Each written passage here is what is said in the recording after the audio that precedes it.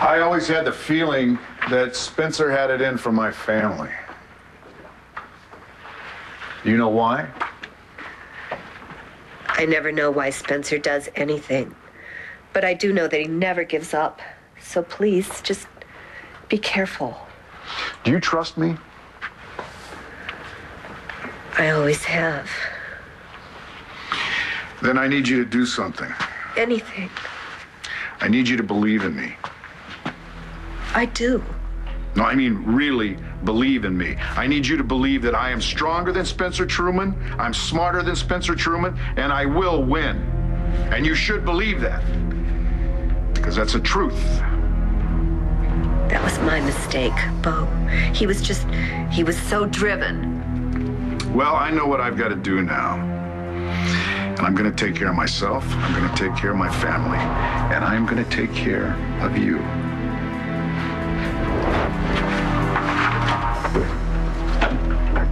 And the problem is that on the day Bo was supposed to have procured these bodies, he took a personal leave day.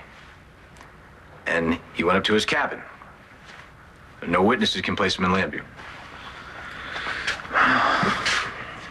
You want to help Bo?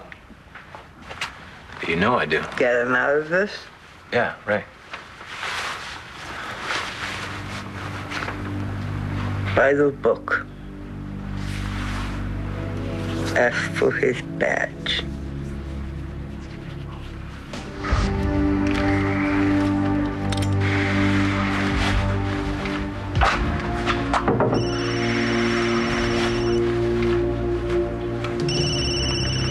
Bo? Hugh, I need you to meet me in my office. I got something for you. Duke is dead. He's gone forever, and now I feel like you are too. Yes, you are. No. You don't understand something, Todd, and that is that I need you. I don't know, maybe all this has just been too much for you. I don't know. And now I feel like I'm kicking you when you're down, and I don't want to do that. But see, you have a chance to be happy, and you are deliberately choosing not to, and I cannot deal with that. Please. Viki. Dorian is going to leave, so I'm going to walk her to the car, okay? Dorian, thank you again so much for coming tonight, and please think about what I said. David, I know firsthand that being free on bail is not really free at all. You're in a very precarious position. Be careful about how you choose your friends. You'll be back, right? You know it. She's right, you know. I need to be very careful. Careful not to buy into Dorian's head games, you mean. David, listen. Who's got your back on this? Who are you going to trust here? I'm your brother. I'm the one in your corner. I wasn't talking about you. I was talking about me. As difficult as it is for me to say this, I gotta grow up. I shot a man. I killed a good father who had two sons. I lied, I ran, and I am guilty. That's precisely how I plan to plead.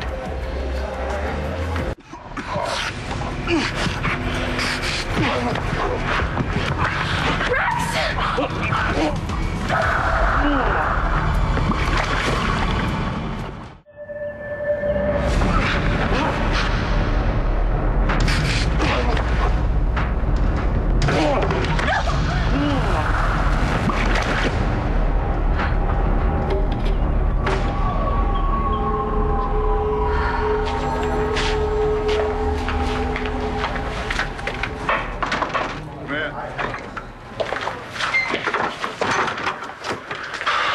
you're still pissed at me about all the bonehead things that I've done lately, but I need your help. Adriana has this, uh. What, what are you doing? I'm packing. I'm out of a job. Which one of us had the worst week? I went looking for Todd's kid got arrested for murder.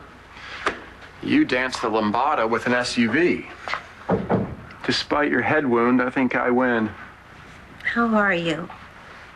Well, I'm better now that I'm out of jail. Is this nightmare ever going to end? Actually, Spencer's reign of terror is almost over. Well, well, well. Looky what we have here.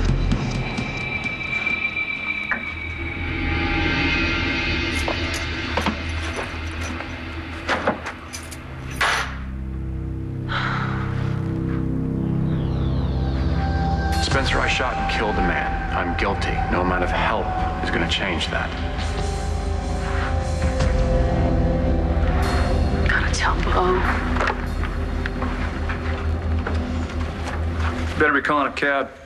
Todd! When did you get home? Last night. Yeah, you probably missed it out with your boyfriend. Yeah, I moved back in. Some hick from Nowhereville steps up and they take his word over yours. The mayor says that he's going to appoint a temporary commissioner sometime later this week. This doesn't make any sense. What, what, what about a motive? Anybody bother to ask why you would even care about setting up Manning? I'll tell you, Balsom, motive really isn't much of an issue because Manning and I do have quite a history. What's important here is that all these charges, they're bogus, and I'm going to beat them. It's just a matter of time. How can they force you out after everything you've done for this town?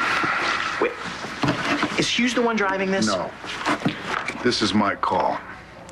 Look, after everything that happened with Colson, the last thing that Llanview needs is another high profile uh, scandal going on, all right? I talked to the mayor, and on the phone, I could even hear in his little voice that he was really sweating bullets. He was going to make a move, so I just beat him to the punch, that's all.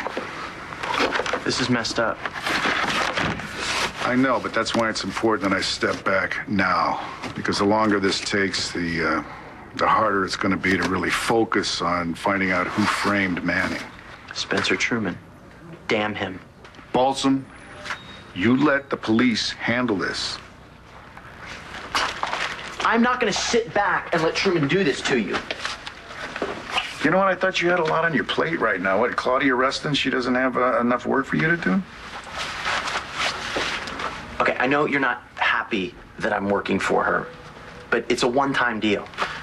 She was gonna hire somebody. At least this way I know what she knows. Yeah, yeah, yeah. When are you going to learn not to get burned by trying to work both ends, huh?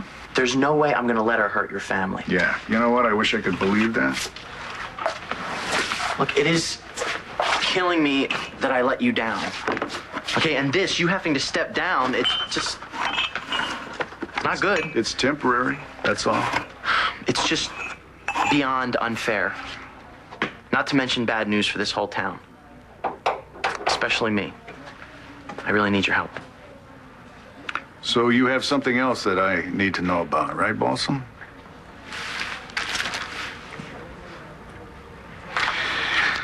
Okay.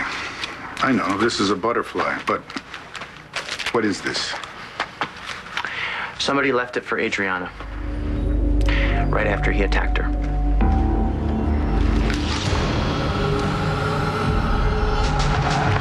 Doing?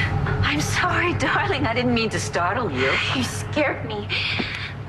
It's just that I, I, I saw you from the window out here alone, looking so forlorn. Is there something wrong?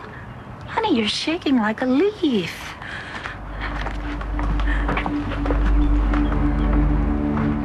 It could be a lot worse next time. I am not taking the chance. What about my mother, Rex, if she found out about this? We can't handle it on our own anymore. It has gotten way too big. Okay, talk to me. You're right. Something is wrong. Is it something to do with Rex? Because I did see his car here last night. you always blame Rex? Don't you even care that he's been the one protecting me? Protecting you from what? Now you really are. You're frightening me. You always do this. This is why I didn't want to tell you, okay? You get hysterical. I am not hysterical. I am very calm, okay? I just want you to tell me what's going on. Someone broke in here last night. The guy that's been stalking me. I I didn't know you were being released last night. Yeah? Thought I'd come and take my life back. Sleep in my own bed. When was the last time I did that? Oh, that's right. It was right before I was arrested for a murder I didn't commit. Miss me? Of course I did. Yeah, of course. Yeah, I felt that as I was lying alone in our bed. Come on, Todd, don't do this, please. Don't do what?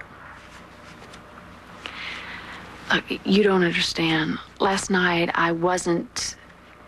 You weren't what? With Spencer?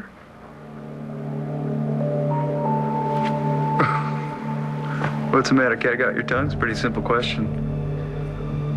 Were you with Spencer last night? Yes or no? Yes. There you see. It's not so difficult, is it? Now get the hell out of my house. Did you hear what I said? Get out now. Come on, Todd, don't be like this. We loved each other once, and I still love you. But you still love me, do you? But you continue to sleep with what's his name?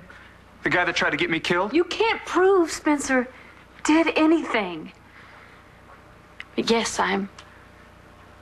I'm with Spencer now. But it doesn't mean that I've stopped caring about you, Todd. Well, care about me somewhere else. You just make me want to puke, you know that? Get out. Okay. I just have to get something. No, whatever you need to get, I'll send to you.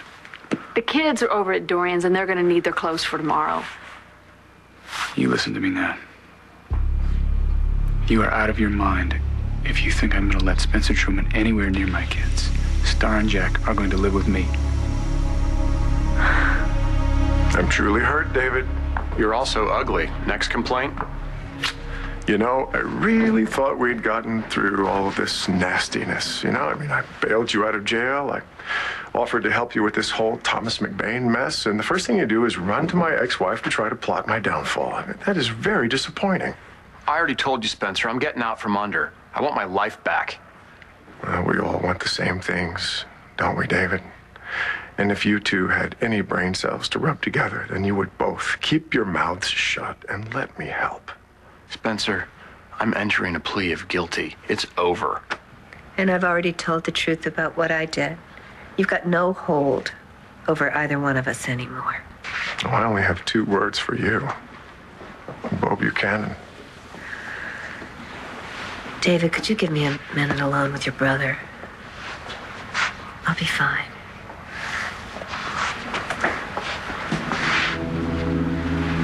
Hey, Dave. Um, you know, in spite of all the bad blood between us, I really don't want to see you spend the next 20 years in jail. I mean, I bailed you out, right? I mean, I really am trying to help if you would only let me.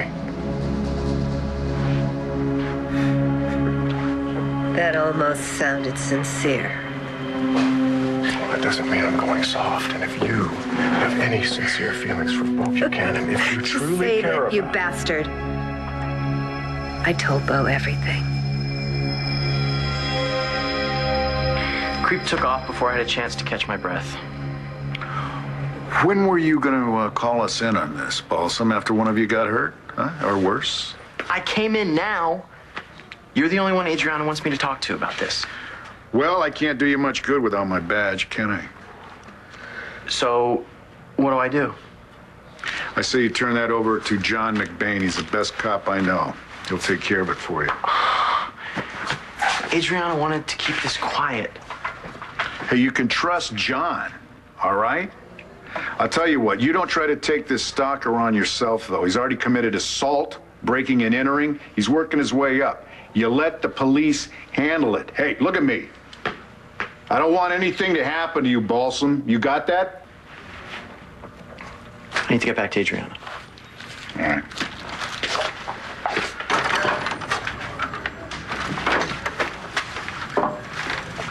They need to get you back on as commissioner before this whole town bites it. And I don't care how good McBain is, you're the best cop I know. And best man.